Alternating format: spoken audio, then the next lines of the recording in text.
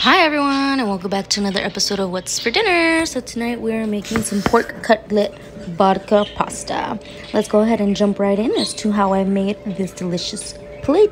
So I started off with peeling just about five garlic cloves and I threw it into a pot with some rosemary, butter, some oregano, and just let that simmer on low so that it doesn't brown on you. And I put some water to boil for our pasta. I used penne. I also used some pork sirloin roast. I got this at Costco. And I just started a little mixture of some ranch and Dijon mustard. Now I chose ranch because it has it's buttermilk, so it's going to keep our meat nice and moist, even though we're going to fry it. I threw in some, uh, you know, I just eyeballed about how much ranch I thought I would need to cover all of the meat and I threw in about one tablespoon of Dijon mustard.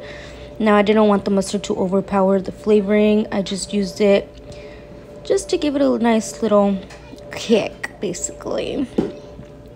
And we just mixed that together, see? Uh, I ended up doing two tablespoons. And just mix that up, make sure it's all well incorporated. You honestly couldn't even taste the mustard in it. It gave it such a good flavor and I had at this point I had already cut up my meat into just thin slices. I didn't want them too thick, that way they would cook pretty quickly. And I just threw all of the mixture right on top and I started working it into the meat, made sure that both sides of each cutlet were nice and lathered. Don't be afraid to get down and dirty with it as you're slathering all of them because you want them to be nicely coated so that the buttermilk can really basically like tenderize the meat. See, just like that.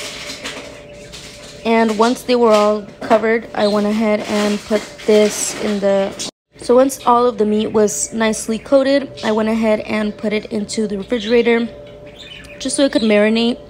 Um, it ended up being in there for about 30 minutes, just as long as it took for the whole pasta to be done. Um, so I'm just gonna go ahead and lather them all up. Now depending on how many, how many people you're feeding is how much meat you'll need. I just ended up using one out of the four balls that come in the pack from Costco. And it fed about 10 of us just fine just because we had the pasta to go along with it. See how I'm just working it all in? I wanted to make sure that every part of the meat had the marinade on there. Here's Zaya asking what we're making.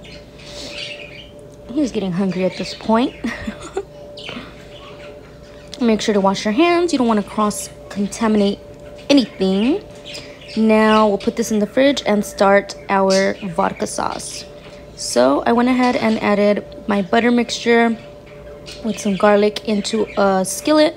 And I added some Prego marinara sauce this one right here. It was the italian sausage and garlic one.